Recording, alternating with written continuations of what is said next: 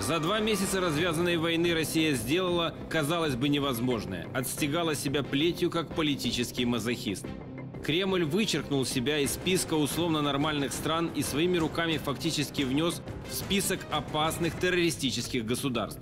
Маразматики из Кремля настроили весь мир против себя.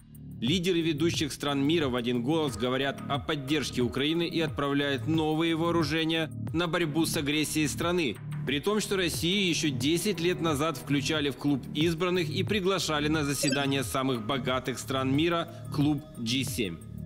Но то, что даже в прошлом году называли бы невероятной научно-публицистической фантастикой, стало реальностью. Немецкие бюргеры говорят канцлеру Германии Олафу Шольцу «помогай быстрей». Немцы открывают списки вооружений и говорят «берите, что надо». Всегда осторожная Словакия открывает свои склады. Австралия шлет БМП, Великобритания, США шлют стингеры, джавелины, системы ПВО и многое-многое другое. Десятки стран в мире помогают бороться с новой российской чумой. Эта помощь очень ценна и ее ждут в Украине. Самое свежее и, пожалуй, самое ожидаемое союзники помогают украинским ВВС получить больше боеспособных самолетов.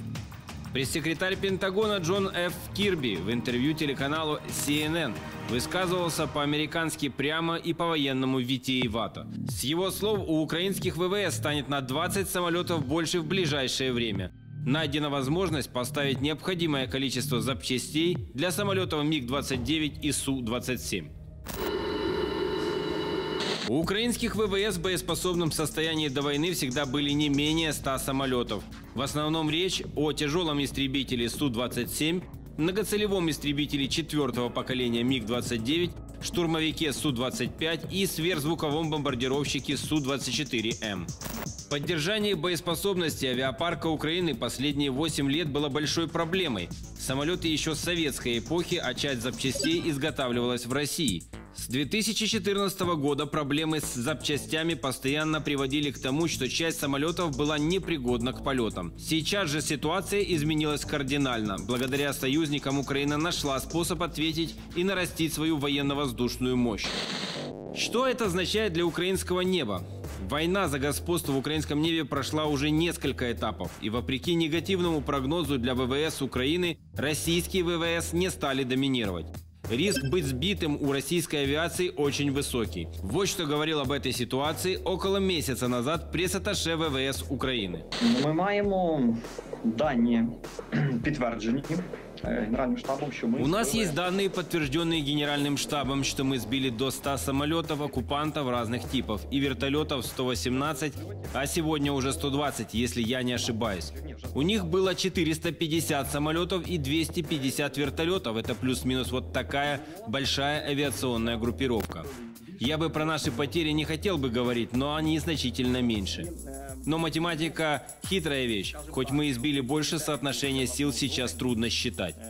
Скажем так, той техникой, которая у нас есть на вооружении 80-х годов против 2010 плюс годов техника у них, наши военно-воздушные силы делают невозможное. Нам звонят наши западные партнеры, просто аплодируют. Нам говорят, никто не знал, что воздушные силы будут настолько эффективно на теперешний момент противостоять врагу настільки ефективно і, на теперішній час протистояти ворогу. С начала войны, по разным неофициальным данным, украинские ВВС потеряли около 33 самолетов разных типов. Для наших реалий это много. Но союзники уже придумали способ серьезно восстановить боеспособность украинских ВВС. 20 модернизированных МиГ-29 и Су-27 серьезно изменят ситуацию на Юго-Востоке. У нас э, сегодня чем больше, тем лучше. Мы в такой ситуации находимся, что э, противник, э, который нам против, пр- противостоит, это российские и оккупанты, у них в разы они превышают нас по количеству авиационной техники и других вооружений видов. И э, мы понимаем, что и армия э, очень большая в России, поэтому э, любая такая предоставленная помощь э, это очень существенно для нас. Мы можем э, нарастить э, парк авиационной техники, э, и, соответственно, которая, авиацию, которая работает и по наземным целям, это штурмовики и бомбардировщики, а также истребители, это Су-27, МиГ-29. Э, Безусловно, это скажется на том, что мы усиливаем свой боевой потенциал. Как в, по работе по воздушным целям, так и по работе по наземным целям, что сегодня тоже очень важно, потому что каждый день ударная авиация э, помогает э, нашим наземным силам э, держать оборону, а кое-где и в наступательных действиях, чтобы освобождать наши территории. Для воздушных сил Украины поставили запчасти и комплектующие Э, для самолетов, тех, которые у нас есть на вооружении.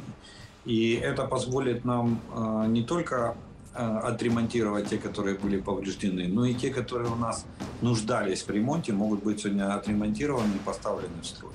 И, в принципе, количество авиации, э, самолетов на крыле, э, стоящих на крыле, есть такое выражение у летчиков, возрастет, и, соответственно, мы сможем прикрывать наши войска э, в зоне проведения активных боевых действий от авиации противника. Есть один аспект, про который говорят мало, но он может оказать решающее значение. ВВС Украины имеют высококвалифицированный резерв летчиков высокого уровня, которые могут в кратчайшие сроки встать на защиту неба. К тому же украинская летная школа одна из лучших в мире. Действительно, и Харьковский авиационный институт, и, и, и другие Э, как бы военные училища а, еще Советского Союза выпускали кадры, и вполне достаточное количество. Они служили в авиации, они имеют определенный налет часов, знаешь, что им надо, это а, провести с ними учебно-методические сборы для, и тренировочные полеты для того, чтобы они восстановили свои навыки и могли выполнять боевые задачи. Украине нужно больше самолетов, пускай и модернизированных советского образца. Идеально МиГ-29. План перевооружения украинской армии на хотя бы уже уходящий в прошлое американский многоцелевой истребитель четвертого поколения F-16, видимо, пока доведется отложить. Но кто знает, может в ближайшее время что-то вроде МиГ-29 пропадет со складов в странах бывшего Варшавского договора. Пропали же 100 танков в Польше, и бог знает, где их теперь носит.